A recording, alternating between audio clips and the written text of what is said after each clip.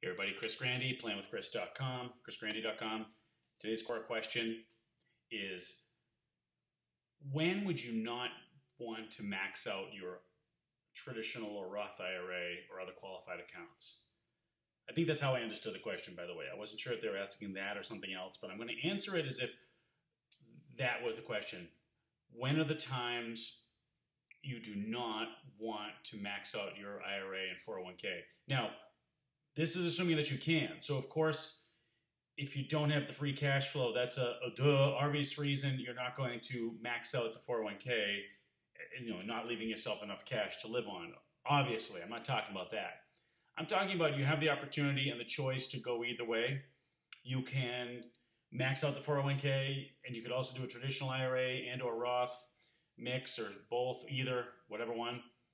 Why would you not want to max each of those out? Well, First off, I'll answer this. When it comes to the Roth, I think there are very few times and cases, and I can't think any off the top of my head, where I would not want to max out a Roth IRA. Um, I think if I had the cash flow, but uh, no emergency fund, even then for young people, because you can withdraw principal from a Roth IRA without penalty, even then I would not be 100, 100% say no on it, but for the most part, there's very, very few reasons that I probably could research and come up with why you would not want to max out a Roth IRA. But there are definitely some reasons and planning strategies behind not maxing out your 401k or um, or traditional IRA. Okay, and I'm going to list four of them. There are tons of them. I mean, we can you know planning scenarios depending on how unique your situation is or what's going on in your life can go on all over the place. But Let's look at these four scenarios. First off, if you think you'll be in a higher tax bracket later on, so I mean, some people they're stashing so much money that they'll actually put themselves in a potential situation where they're in a higher tax bracket later on in retirement, especially if there's a chance that the tax brackets will be higher. So if you are, um, you know, you may you may actually may have more retirement income than you have work income now. Or maybe later on by doing some planning, you realize, well, right now you've got mortgage payments, etc. When you retire, you'll have no um, fewer deductions and maybe the same or more income, you know, with pension and 401k required minimum distributions or IRA minimum required minimum distributions, that you're actually paying a higher tax rate and more taxes. In that situation, you may want to do some advanced planning and blend out your retirement accounts by between Roth, non-taxable, you know, qualified money, aka IRAs and 401ks, and non-qualified type of accounts, just like having a brokerage account with with uh, stock funds or something. So that's one reason where you may be in a higher tax bracket later on and be paying higher taxes. And again, that would come in for middle class people. That may be people who uh, have a, a very high pension like a like a certain uh, government workers who have an 80% pension, and if at the same time they were stuffing their 403b and stuffing their 457 plan, and then all of a sudden you know they have RMDs and and they're just in a higher tax bracket. So then you know maybe uh, you know maybe the Roth account or something else is is better than getting the tax deduction right now. So that's one. Uh, number two, another reason is if you do your planning out, realize that even if your income's not higher, it's high enough that you could knock yourself out from certain deductions, cause yourself to get certain surcharges, and also um, um, certain penalties or, or, or increased taxes. What do I mean? Well, let me give you three examples of where this might happen. If your income is, is above a certain amount, they start taxing your Social Security benefits. In other words, like if you, um, the magic number for single people is 25,000. It's not inflation adjusted. I think they put the number in in 1986 in the Tax Act never inflation adjusted it. By the way, that's how politicians justify tax changes because if you don't inflation adjust something, you start pinching more people down the line. So it's a trick. It's a political trick. Worked great.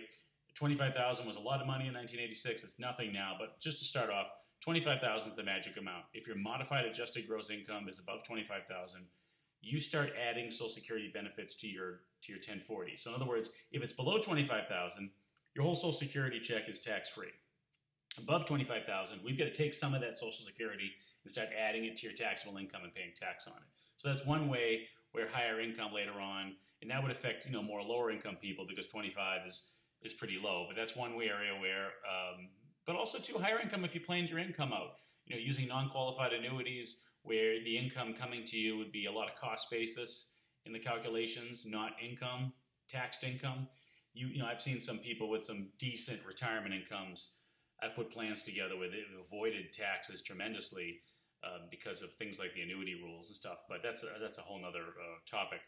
But Social Security taxation, income's too high, it starts getting taxed. Another thing is is if your income if you're a single person and your income is over 85,000 with another modified adjusted gross income formula, you start getting surcharged on your Medicare premiums. And that goes up too. So there are a few brackets there where um, you start paying more. See, I think your Medicare premiums can go up to over, over $400 a month if you make too much, way too much money. Again, that's that's a solid amount. But it starts off at 85,000 for singles. And one more area where um, having higher income could hurt you is with the deductibility of your medical expenses there's a 10% um, um, you know level. You've got to get your medical expenses have to be greater than 10, you know, hurdle rate has to be, have to be greater than 10% to deduct those expenses. 10% of your adjusted gross income. So the higher your income is, the higher that 10% hurdle is, and less of a chance you can deduct medical expenses. And later on, as a retiree, you may have more medical expenses and, uh, and could use that tax deduction. And in that situation, you know, so if you factor all these into planning, you can see if maybe later on you're in a situation where, uh, you know, you you're um, you may be better off not having so much um, money in a 401k because later on it's going to come out and you'll be paying taxes on it, and it may be causing you to get hit with these surcharges, penalties, and loss of deductions. Um, third area is flexibility. You may want cash for your personal VC fund. Did a cool uh, video article on that. I'll link below. You know, having your own fund available for something that might opportunity that might pop up you want to be ready for.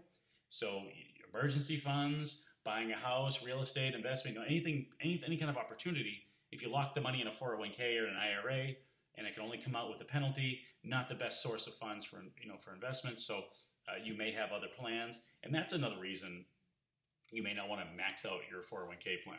All right, and you know you got to say that you know for some people you get real estate at the right price. That's there's there's almost oftentimes nothing better for retirement planning than a, a really quality piece of real estate.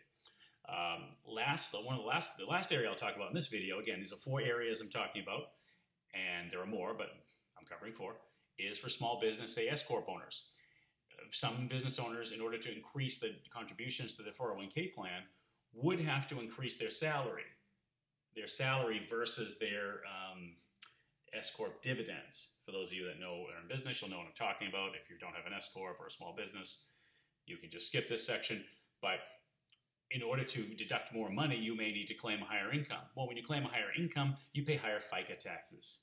And so, therefore, um, if you're paying FICA taxes and income taxes, that may not look as appealing, all right, as just taking that taking that as, as corporate dividend income and just paying income taxes. So if you let's say you have this pool of $100,000 and you currently take $50,000 salary, the other 50,000 you leave in the business for growth or, you know, occasional needs.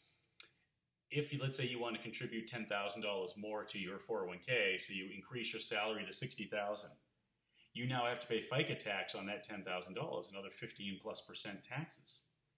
All right?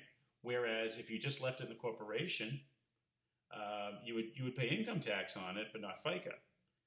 Okay, so over here on this side of salary, you pay FICA tax on it, and then later on, when you take it out of the 401k, you're going to pay income tax on it, so you're going to pay probably twice the tax rate.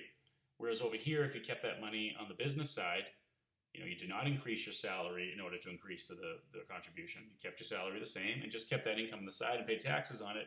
You just pay income tax on it and then you know then you go but so maybe you buy an index fund with it and never sell that index fund and it's the same as a tax deferred growth so anyway uh, those are the four reasons all right higher tax higher tax rates later on higher taxable income all right loss of deductions on um, medical expenses surcharges on your medicare and um, and and social security taxation is number two kind of the retirement uh, whammy whammos where you get hit with these these these gotchas you weren't expecting. Number three is uh, financial flexibility.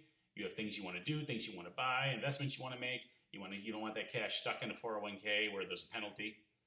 And lastly, for small comp- small business owners, S corp owners, uh, where where increasing 401k contributions or such would likely mean having to increase the salary, which means having to increase having to increase your FICA tax. So on, on that salary money, you're paying FICA tax now and income tax later when you withdraw it. Whereas on the other side, if it is uh, you know on on that money and the growth, whereas on the other side, if you just left it as um, corporate profits, then you just pay income tax on it, but not FICA tax. And so the tax benefit there, you have to weigh, and maybe you may be better off not putting that money in a 401k, not claiming it as salary first, and, and paying the FICA tax. So anyway, there's some reasons. Hopefully that's helpful to you. There are many more. And when it comes to and this, folks, is like there's a lot other Quora questions I get is like, you know, what is financial planning? This is what planning is. Okay, it's not how do I allocate my portfolio? 60% stock. I mean, that is the most like mindless thing. This is the kind of planning stuff, just part of it that you have to think about uh, later on because it's really all about your retirement security and how much money you get to actually take home and spend. It's about living. You know, it's about the things you want to do, the goals, and and you have to think about living, and you need income to live, and you want to maximize that income because once you stop working, that's it. And so you want to make sure it goes it goes in a place that makes the most sense. You want to make sure when you withdraw it, you withdraw it most sensibly, and uh, and this is the kind of stuff you do when you're doing advanced planning and thinking about things ahead of time. So just to give you an idea. Any questions? Drop them below. Like the video, then like it. If you want to subscribe and uh, and hear some more stuff, uh, would love to share some more ideas with you, and would love to have you. So thanks again for watching, and have a great day.